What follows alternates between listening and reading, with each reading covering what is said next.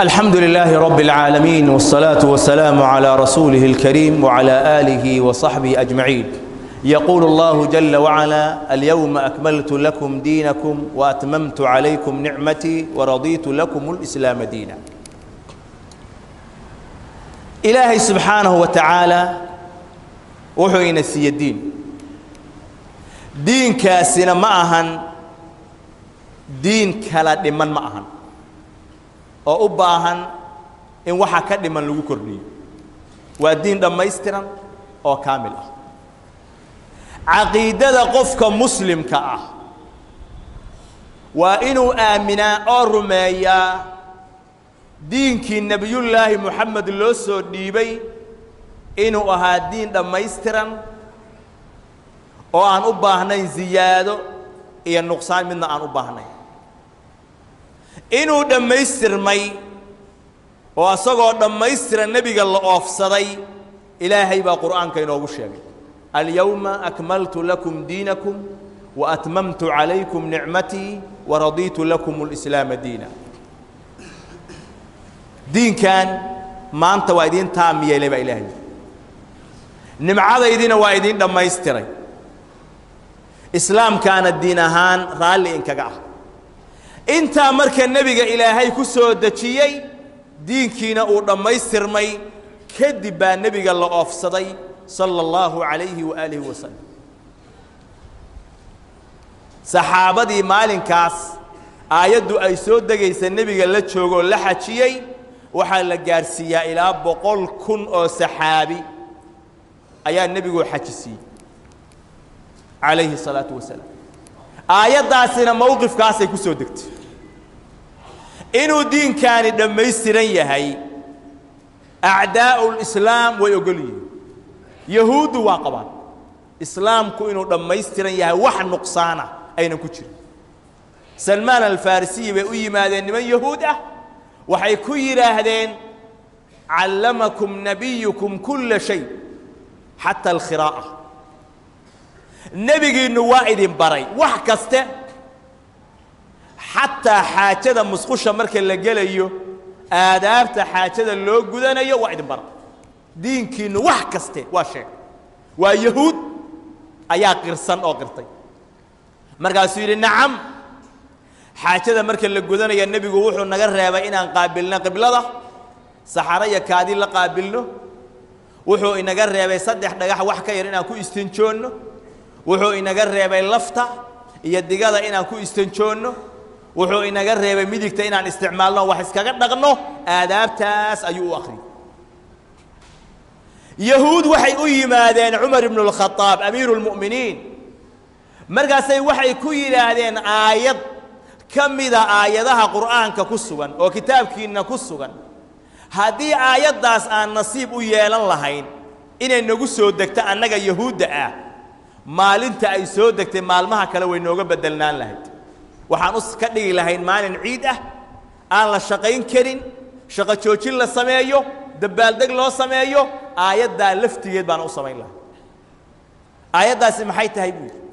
Waxay yidhaahdeen waa alyawma akmaltu lakum diinakum wa atmamtu calaykum nicmatii waradiitu lakum اlislaama diina. Markaasuu ilaahay ku dhaarto wuxuu yidhi ilaahay baan ku dhaartay waxaan ogahay aayaddaasi maalinkii ay soo degtay iyo saacaddii ay soo degtay. Iyo meeshii ay ku soo degtay baan aqaanaa. Maalinkii carafay galabtiisii soo degtay. Maalin jumcaa buu ahaa. Nebigay ku soo degtay. Sidaasaan u garanayaa buu yidhi aayaddaas wakhtigii iyo maalinkii ay soo degtay baan u garanayaa. Aayaddan alimaam daaru hijra alimaamu maalik wuxuu u deliishaday hadal uu ka hormariyey oo aad u cajiib ah wuxuu yidhi man ibtadaca fi lislaami bidcatan yaraaha xasana. Islaamka dhexdiisa qofkii la yimaada wax cusub oo bidco ah oo u haysta inay yihiin waxaasina wax cusub oo feecan inay yihiin oo islaamka ku soo kordhiya oo wax wanaagsan inuu yahayna ka aaminsan faqad zacama ana muxammadan khana risaala. Qofkaasi wuxuu sheegtay oo uu ku handacoonayaa nebiyullaahi moxamed inuu khiyaanay risaaladii ilaahay noogu soo dhiibay. Maxaa yeelay ilaahay wuxuu leeyahay alyawma akmaltu lakum diinakum. Maantay baan diinkiinna idiin dhammaystir. Wa atmamtu calaykum nicmatii nimcadaydana dushiinna ku taam yeelay. Wa radiitu lakum alislaama diina. Islaamkana diin ahaan raallin kaga noqdo. Aayaddaan u deliishata markaasuu wuxuu ka dabamariyey hadal kaleoo cajiib ah wuxuu yidhi famaa lam yakun yowmaidin diinan. Maalintii aayaddaa ay soo degtay oo nebigu noolaa wixii aan diin maalinka ahayn laa yakuunu alyawma diina. Maanta diin ma noqonayaan waa imaamu daari alhijra imaamu maalik shaykhu shaafici wey alimaamu shaafici sheekhiisa maalinkii nebiga iyo saxaabadu ay joogeen wixii aan diin loo aqoonin oo dadka aan diin u ahayn maanta ma noqonayaan diin ayuu alimaam ibnu kaiir aayaddaa markuu ka hadlaya wuxuu yidhi haadihi akbaru nicam illaahi calaa haadihi اlumma ummaddaa nimcada ilaahay u gala midda ugu weyn waa midda aayaddu ay sheegtay. Xayثu akmala lahum diinahum. Ilaahay diinkoodii buu u dhammaystiray falaa yaxtaajuuna ilaa diinin diini ilaa diinin gayri diinihim baahi uma qabaan umana dhibaatoona diinkooda diin aan ahayn wax baahiya uma qabaan. Walaa ilaa nebiyin gayri nebiyihim nebigooda nebi kale oo aan ahaynna allow yaa noo soo saara baahi uma qabaan. Walihaada jacalahu allahu khaatama alambiyaa sidaas darteed baa ilaahay nebi moxamed wuxuu oga dhigay kii ambiyada lagu khatimay. Oo nebi ka dambeeyaa uunan jirin ayaa asaga laga dhigay wa bacaahu ila alinsi waaljin ilaahay wuxuu u soo saaro u soo diray insiga iyo jinniga labadaba ayaa ilaahay u soo diray subxaanahu wa tacaala markaasuu wuxuu yidhi ibnu kaiir falaa xalaal ilaa maa axalla walaa xaraam ilaa maa xarama. Shay xalaalihi ma jiro ilaa kii asagu xalaaleeyey maahane shay xaaraam ahna ma jiro ilaa midkii asagu xaaraam ka dhigay mooyaane. Walaa diin ilaa maa sharaca diinna ma jiro ilaa kii asagu jideeyey mooyaane markaasuu wuxuu yidhi wa kullu maa akhbara bihi fahuwa xaqun wa sidq wax kasta oo nebi moxamed uu sheegay waa xaq waana run kama qaala tacaala watamat kalimatu rabbika sidqan wacadla kelimaddii rabbigaa nebiyullaahi moxamedow way taam noqotay wayna buuxsantay waxay ku buuxsantay sidqan wa cadla sidqan fi lakhbaar akhbaarta ay sheegto oo dhan waa sidq. Wa cadlan fi lawaamiri wannawaahi awaamirta iyo nawaahida ilaahay diinkaa noo dhex dhigay waa mid cadaalad ku taagan wey falamaa akmala lahum اddiin atama tamat calayhim اnicma diinkii markii la dhammaystiray ayaa nimcadii ilaahayna noo buuxsantay.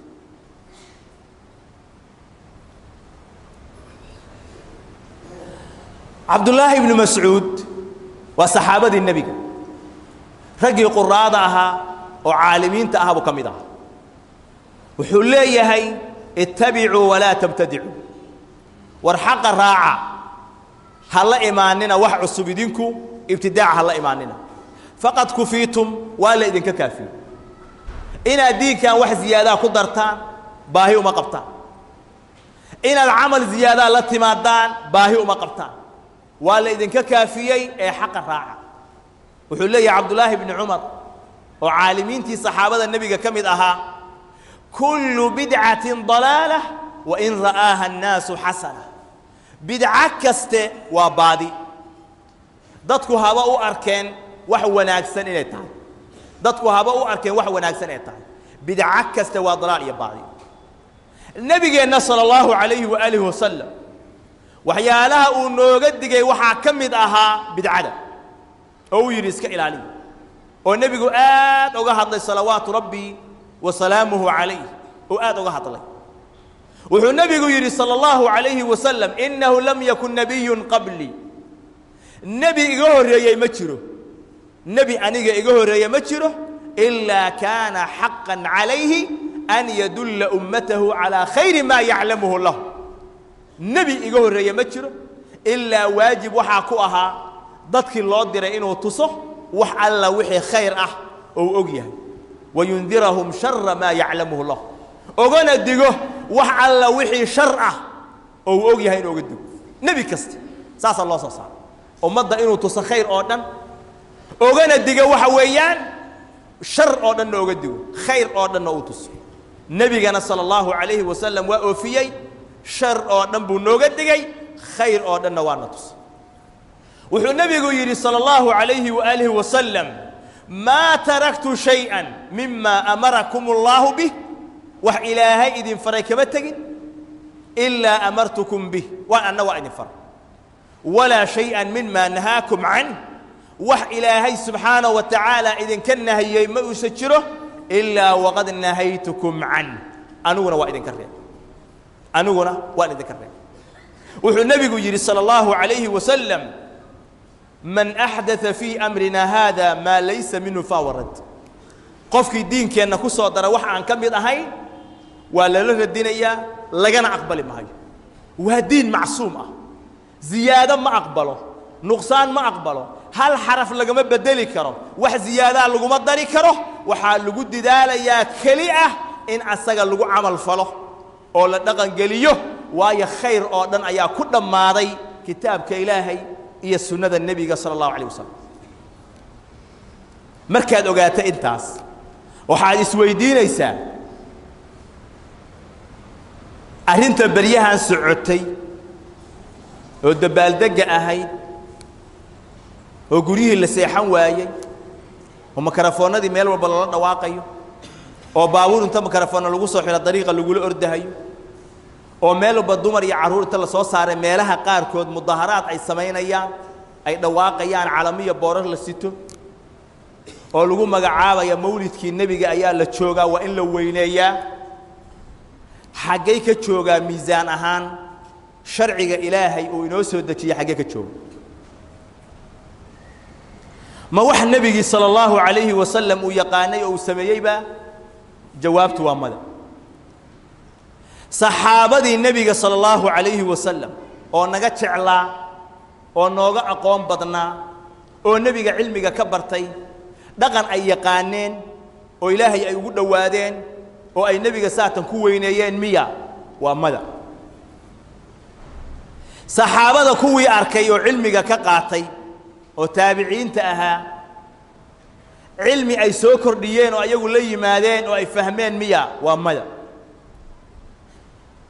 afartii a'immada waaweyn ka mid ahaa ee madaahibta abu xaniifa alimaamu maalik alimaamu shaafici alimaam axmed ibnu xambal afarta madhab a'immadoodii waaweynaa xilligoodii wax la yaqaanay oo nebiga lagu weynayn jiray miya. Jawaabtu waa mada culimmadii muxadisiinta ahaa oo ajillada ahaa sida alimaamu albukhaari alimaamu muslim alimaam abu daawuud alimaamu tirmidi alimaamu الnisaa'i ibnu maajah iyo a'immadii kale oo waaweynaa oo salafu saalix ahaa xilligoodii markii la gaaray wax soo kordhay miya waa mada. Min ayna lana? Arrinkaani xaggee naga soo gaaray. Haddaan ilaahay sheegin rasuulkiisa moxameda uunan sheegin saxaabadii aynan ilaahay subxaana wa tacaala ku cibaadaysan oo ilaahay ku caabudin taabiciintii aynan aqoonin taabicu taabiciin aynan aqoonin a'immadii waaweyne aynan aqoonin min ayna lana? Xaggee naga soo waxaa ugu horreeyey oo sameeyey qarnigii afraad nimankii faatimiyiinta ahaa cubaydiyiinta ahaa faatimiyiinta sheeganahayey inay aalubeyd yihiinoo ku abtirsanayaan nisbada beentaa sheeganayey ee masar qabsaday oo culummadii islaamka oo wax ka qoray dhammaantood ay sheegeen baatinkoodu inuu ahaa shiico daahirkooduna kufriya zandaqo u ahaa guruubka iyaga ah waxyaalihii bidcada ahaa oo masar markay qabsadeen ay la yimaadeen ayuu ka mid ahaa mawlidku. Qofkii u baahan adiladeeda iyo taariikhdeeda wuxuu ka heli karaa kutubaha laga qoray oo dhan buu ka heli karaa. Nimankaa soo dariyey oo la yimid taabiciin maynan ahayn saxaabo maynan ahayn salafkii maynan ahayn niman faatimiinay ahayn. Culummada islaamkuna way gaalaysiiyeen. Way gaalaysiiyeen. Baadiniyo kafara inay yihiin bay caddeeyeen boqorkii la odhan jiray alxaakim biamri illaah ee xilligaa masar haystay ee arrinkan la yimid ayaa yidhi lix mawlid baa la dhigaya. Mawlid waxaa loo samaynayaa nebiga oo lagu weynaynayaa midna waxaa loo samaynayaa cali bin abi aalib midna waxaa loo samaynayaa faatima binti rasuul midna waxaa loo samaynayaa xasan midna waxaa loo samaynayaa xusein midka lixaadna aniga ayaa la ii samaynayaa buuri waa boqorkii dhihi jiray marka uu khudbaynayo marka aan magaca iga sheego waa in la ii sujuudaa.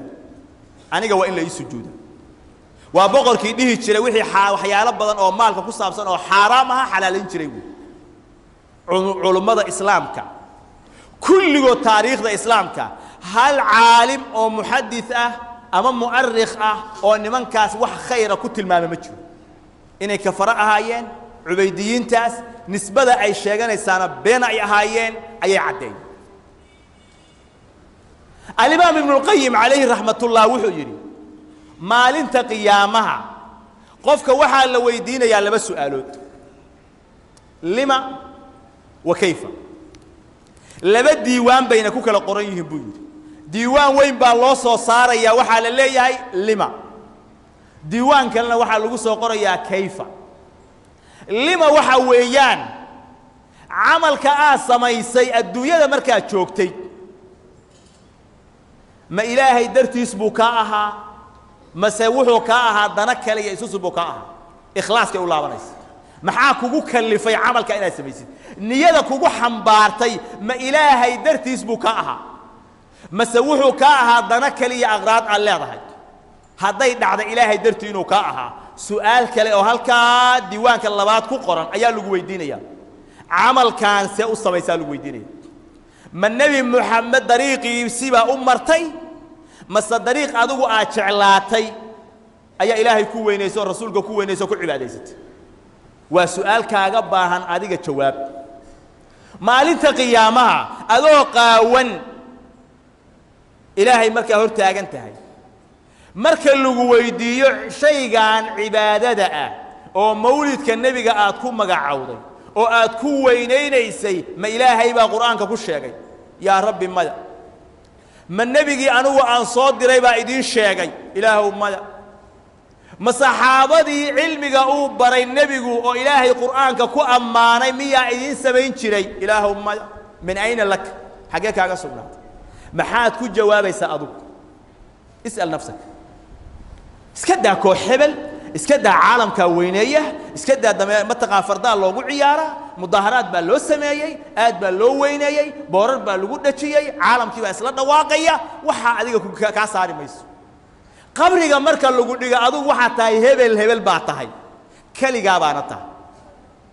Intaas qofku raacaya oo ku difaacayaa qabriga miyuu jiraa? Waa mada waxaa naftaada weydiisaa ilaahay hortiisa markaa taagan tahay. Caalim intaa u yeehatay leedahay iddifaac ma jiro. Koox aad ka tirsantaho intaa u yeehatay ku difaacaysaana ma jirto. Adaa ilaahay hor taagan wixii aad shala lacagta ku bixisay. Oo aad tidhi ilaahay baan ugu dhowaanayaa nebigaana ku weynaynayaa aad tidhi. Su'aashaa markay kugu timaaddo faacidda laha aljawaab. Jawaabtii aad ku jawaabi lahayd maanta diyaarso haddaadan hayn. Haddaadan hayn wixii saxaabada ku filnaaday ha kugu filnaadeen. Saxaabada maxaa ku filnaaday? Waxaa ku filnaaday bishaan inaysan bilaha kale oga dugnayn inaysan oga dugnayn baa ku filnaaday maxaa tusinaya inay saxaabadu bishaan aysan bilaha kale oga dugnayn maxaa tusinaya? Marka koowaad isweydii nebi moxamed bishaan labiyo tobankeedu miyuu dhashay mase ma dhalan? Ma la isku waafaqsan yahay waxaa ku jira khilaaf fara badan. Culammada qaar waxay yidhaha bishaan rabiiculawal nebigu maba dhalanba. Maba dhalanba. Kuwa yidhi waa dhashay. Waxay isku khilaafeen maalinkee ka dhashay. Maalintii labadu ka dhashay qolaati ma ahee maalintii sideedda ahayd buu dhashay. Ma ahee sagaalaadkii rabiiculawal buu dhashay. Ma ahee labiyo tobankii buu dhashay. Haddii nebigu hal maalin dabaaldeg u dhigi lahaa noloshiisa. Saddex iyo labaatan sano oo rasuul iyo nebi u ahaa hadduu hal maalin dabaaldeg u dhigi lahaa ma la isku khilaafi lahaa? Khilaaf miyaa ka imaan lahaa hal maalin hadduu intuu istaaga yidhaha maanta waa maalintii rabiiculawal labiyo tobankeedii. Waxaan dhawey weynaynayaa maalinkii aad dhashay weeye miyaa lahay hal maalin la iskuma khilaafin. Nebigu wuxuu dhashay maalin isniina laakiin isniinay xaggee bisha kaga jirta sagaal bay ka ahayd ma labiyo toban bay ka ahayd ma afar bay ka ahayd ma labay ka ahayd. Bisha ay ku jirtase waa bishee ma rabiiculawal baa ma bil kalaa waa la isku khilaafay ma doonaysaa nebi moxamed inaad weynaysid maalinta isniinta soom saddex cillayna kulansatay maalinta isniinta soonkeeda nebigaana sheegay. Wuxuu yidhi waa maalintii aniga lay dhalay. Waa maalintii waxyiga la igu soo dejiyey waa maalin camalka la kor yeelo waxaana jeclahay anoo sooman camalkayga la kor yeelo. Saddexda arrimood bay wadataa. Mid ka midii nebigaa dhashay calayhi salaatu wasalaam. U dhashay nebigaa dhashay saa ku weyni.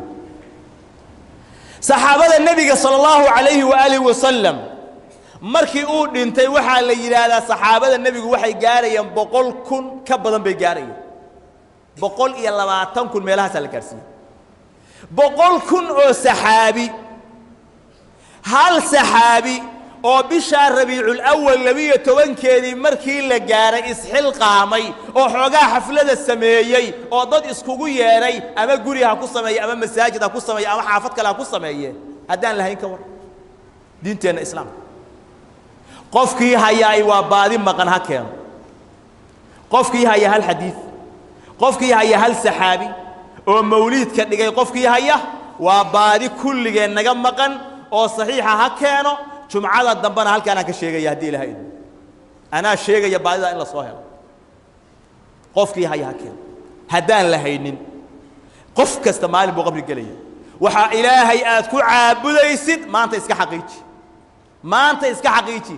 Shan arrimood baa kugu dhacaya cuquubo ah oo nebigu shantaba sheegay camaluhu marduud. Qofka bidcadaa la yimaada camalkiisa waa la radinaya. Man camila camala laysa calayhi amrunaa fahuwa rad. Qofkii camal sameeye aan daliil lahayn waa la celin waa ko atawbatu canhu maxjuuba toobadda waa laga xijaabaa qofkaas. Maadaama arrinkaa uu ku sugan yahay bidcada ah toobaday kaa xijaabaysa. Nebigaa yidhi calayhi salaatu wasalaam ina allaha xajaba tawba can saaxibi kulli bidca qof kastoo saaxiibu bidca ah ilaahay toobadda waa ka xijaaba bidcadaas uu ilaahay ugu dhowaanaya oo dabada haya oo ugu dhowaanaya oo wadaa oo wadaa marka dambuu qalafu leeyahay oo naftu ay kaga baxayso arrinka labaad waxa weeyaan calayhi iثmu man camila bibidcati qof allaaliya qofkii kaga dayda oo intuu abaabulo camalkaa sameeya dembigooda maalinta qiyaamaha asagana waa leeyahay kulli ilaa qiyaami saaca qofkii arrinkaas dad oga dadka oga dadku oga daydaan camalkaa isagaa waxa weeyaan dembigooda kulli ay galeen waa loo qoraya. Nebigu muxuu yidhi man sanna fi lislaami sunnatan sayi'a islaamka dhexdiisa qofkii jireeya waddo xun qofkii jireeya.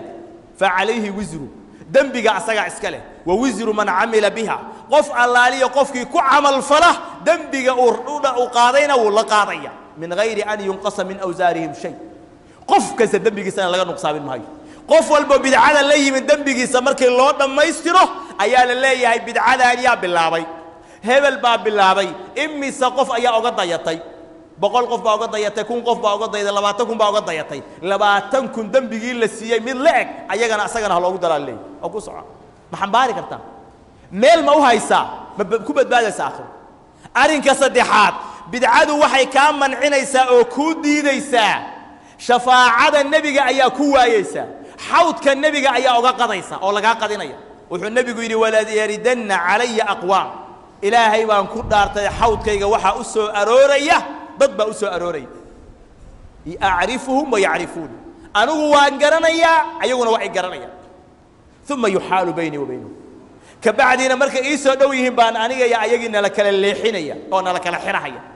Markaasaan waxaan leeyahay ummaddaydii weeye maxaa layga leexiyey markaasaa la leeyahay إنك لا تدري ما أحدث بعدك. وها أي دينك كسو درين قدالك أدوك مؤقت أنك أقبل لي مركا سأنبي هضاريا أقول لي سحقا سحقا لمن غير بعدي. نار تألها كفقي نار تألها كفقي ننكي أنك قدالك الدين بدل نار تألها كفقي. حاوت كنبي قاك قضيس قفك بدعاء لي ماذا وملعون. نبي قايري صلى الله عليه وآله وسلم. man axdaa fiiha aw aawaa muxdiثa facalayhi lacnaة اllah wاlmalaa'ikati wاnnaasi ajmaciin qofkii bidco la yimaada ama nin bidco wata waxa weeyaan soo duma oo garab istaago ugu kaalmeeya ilaahay lacnadiisu ha ku dhacdo malaa'igta lacnadeedu ha ku dhacdo dadka dhammaantood lacnadooduna ha ku dhacdaa nebigu sal ly slam soo ma jeeto arrinka isaga ah walaalayaal khatarta intaa la eg ayuu arrinkaasi leeyahay waxaan ku darayaa munaasabo ahaan muhiim ah. Nebigu wuxuu dhintay labiyo tobankii rabiiculawal waana saxiix. Maalinka aan farxayno aan qoslayno oo aan dabaaldegayno waa maalinkii nebigu dhintay oo saxiix ah inuu dhintay waa saxiix. Inuu dhashay lama hubo teeh ku habboon marka labadooda. In la yidhaahdo waa maalinkii uu dhintade ha la ooyo oo ha la ilmeeyo oo caalamku madoobaaday labiyo tobanka rabiiculawal in lagu soo aadiyo oo la yidhahdo waa dhimashadii nebiga ha loo ilmeeyo. In la yidhaahdo iyo in la yidhaahdo waa maalinkuu dhashada ha loo dabaaldego tee mudan labadooda. Isweydii maalinka uu dhintay wuxuu ahaa nebi buu ahaa rasuulna waa ahaa laakiin maalinka uu dhashay nebina ma ahayn rasuulna ma ahayn afartan sano kabacdi baa waxyigu ku soo degay oo rasuul uu noqdo nebi noqdo. U fiirso. Maalintii uu rasuulka iyo nebinimada ahaa oo maalintuu dhintay ah. Iyo maalintii uu dhashay oo uu rasuul iyo nebinimo uusan weli gaarin ayuhumaa awlaa. Maalintii uu dhintay adduunka dhan baa madoobaaday. Faynuus baa baxaysay faynuustii baa naga dantay. Saxaabadu waa ilmeeyeen. Aad bay u murgeen labiyo tobanka reebcuul awal weeye haddaad nebiga jeceshahay dhimashadiisii maa kaga naxdo ku weyn ku weynaysa haddaad ku weynaynaysa. Haddaad nebiga jeceshahay nebigu soom buu la yimid soonka maa la timaadid maalinta isniinta. Aan baranna sida nebiga loo weynaynaya inay tahay ogow dariiqadii saxaabadu nebiga ay ku weyneeyeen. Haadaa huwa alxaq. Nebigu jumco kasta wuxuu la taagnaa mimbarkaoo ku celcelinahayay kullu bidcatin dalaala maxaa u kala qaadaysaa marka? Bidco kasta waa baadi. Muxuu nebigu jumco kasta kelimaddaa ugu celcelinahaya wa shara alumuuri muxdathaatuha umuur waxaa ugu shar badan waxaa dib laga keenay ayaa nebigu odhanahay maxay kula tahay nebigu jumco kasta inuu saxaabada ku celcelinayo kelimaddaas khatarta aan maanta arkayno iyo fasaadka maanta aynu arkayno iyo sida bidcadu u faaftay ayaa nebigu sala allahu calayhi waaalihi wasalam uu ummaddiisa oga digahay. Taasaa ummaddiisa oga digahay waxaa ku darsataa. Xoolo inta la aruuriyo la qalay la geel la sameeyey adduunyo la aruuriyo intaasoo xoolaha la qaybinahayo nebi moxamed baan ugu dhowaanayaa. Waxaa weeyaa nebigu sadaqo ma qaadan jiro mana ku bannaan. Markuu noolaa sadaqadu xaaraan bay ka ahayd ma markuu dhintay u bannaanaatay nebigu asagaa yidhi innaa laa taxillu lana sadaqa. Sadaqadu annaga nooma bannaan. Qofka odhanaya mawliidkii nebigaa la dhigayaa keen odhanahaya muxuu qofkan caamigaah wax ku bixinahaya nebiga weynee buu ku bixinahaya nebigana sadaqadu xaaraan bayba ka ahay. Middeeda waajibka ah iyo middeeda sunnada ah kulli xaaraan bay nebiga ka ahay. Maxaa yeele nebigu asagaa sheegay sadaqadu waa min awsaakhi innaas dadka oo dembigoodii iskaga dhaqaya weeye waa wasakhdii dadka. Nebigana sala allahu calayhi wasalam iyo aalkiisa waa laga xarimay inay qaataan. Wax dadku ay wasakda iskaga dhaqeen waa laga xarimay. Marka wax yaroo aad bixisay nebigu baahi uma qabo ilaahay buu martiqaad wuxuu ka haystaa khalqigoo dhan aysan ka haysan. Wuxuu gaaro maqaamkii ilaahay u ballanqaaday buu joogaa. Adigu waxa weeyaan dariiqiisii qabo oo ha lumin. Adigu ha baadiyoobin shilinkaaga iyo arrinkaa midna oo baahna adigu ha lumina dariiqii nebiga sala allahu calayhi wasalam qabso.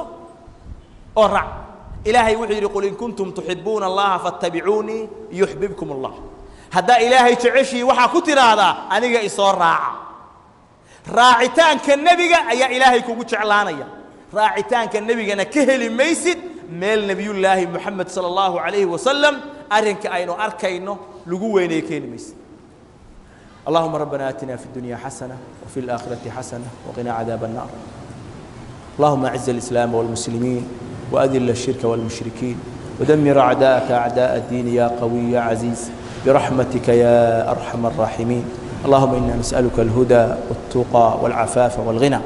Eh, waxaan rabaa markaas kabacdi inaan baraarujiyo. Baaraka allahu fiikum eh, kuraasta masaajidka dhex taalla.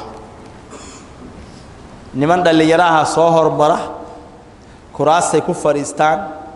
Raggii odayaasha ahaa oo cuslaa marka ay yimaadaan xagga iyo xaggay fiirinahayaan kuraastii waxaa ku fadhiya dhallinyaro dhallinyaradii ixtiraamkii laga rabay inuu qofkan waayeelka ah uga istaago lagama helin. Isagii oo ninkii waayeelkaa fadhigii dhibahayo ayuu wuxuu ku qasban yahay kuraastii oo masaajidkii dhooban in dhulka fadhiisto. Sax ma ah dhallinyarada waxaan leeyahay marka aad timaadaan kuraasta iska daaya dadka idinka waaweyn oo da'da ah oo aabbayaalkiin adeeryaalkiin oo kale ah u daaya baaraka allaahu fiikum inay ayagu kuraasta ku fadhiistaan hadda waxaa ii muuqda dhowr kursi oo bannaan. Waxayna u badan tahay dhallinyara inay ku fadhiyeen markii khudbadu ay soo dhowaato ay ka kaceen ay fadhiisteen. Ninkii odag ahaa oo ku fadhiisan lahaa khudbada ka hor buu yimid kursigan waa lagu fadhiyaa kanna waa lagu fadhiyaa kufri bannaan buu u jeedi waayey. Markaasuu waxa weeyaan isku dayey inuu isku dhibo inuu dhulka fadhiisto. Adiguna hadda waa bannayso waa ka kacday baaraka allaahu fiikum waa baraarujinaynaa kuraasta u daaya dadka odayaasha. Waxaan kaloo baraarujinayaa dad baa waxay sameeyaan gawaarida. Markay meelay dhigtaan ay waayaan gawaari kale ku horgooyaan. Hadhowta qofkii asagoo degdegsan buu soo baxahayaa gaari baa ku horgo-an. Meeshuu aadi lahaa iyo danihiisii dhammaa wuxuu u daahayaa baabuur baa ku horgo-an. Qofkii qof gaari ag dhigtaa baaraka allaahu fiikum salaadda marka laga baxo ha degdego gaariga baabuurta uu ku horgooya ha ka wareejiyo saddexaad waxaan ku darayaa. Salaaddii marka la soo geliyo ilmaha waxaa loo dhiibaa kabaha. Ayagana salaad baa laga rabaa. Yaa meesha ku celiyey ma taqaanaa. Kabta adigu aa u dhiibtid buu waardiyeynaya. Adaa marka waardiye ka dhigtay. Macsida marka khudba la'aanta ku dhacaysa iyo dembiga uu gelahayo adiga qayb baad ka noqonaysa. Kabahaaga ha u dhiibin ama shan saac oo kale ha kuu qabta wuxuu kaaga qaban lahaa khudbadu markay soo dhowaato kab yaan la dhiibin. Baaraka allahu fiikum inkastoo maalin dhoweyta masaajid aan ku tukaday kabihii baa loo dhiiboo loo dhiibay markaasaa niman intay soo baxeen tuugo ah oo kabihii u yimaadeenoo yidhahaan keen kabta anaa lahaa kana anaa lahaa kana anaa lahaa oo lacagtii laba labada kun ahayd siiyaan bay kabihii iska qaatay. Dadkii kabaha lahaa markay yimaadeen ilmihii yarkaa bay dhamanaano ku boobeen. Ma ilmaha yarkaa boqol qof kaba u dhiibta garanahaya waxay kala lahaayeen say kala ahaadeen bal ha samaynina baaraka allahu fiiku tuugadu tabbay hadda degtade kabihiinna ilaashada hadda ha dhiibinina. Ama adoo dul taagan ha lagu mariya ka soo qaado salaada waktigeedana ha u dhiibanin baaraka allahu fiikum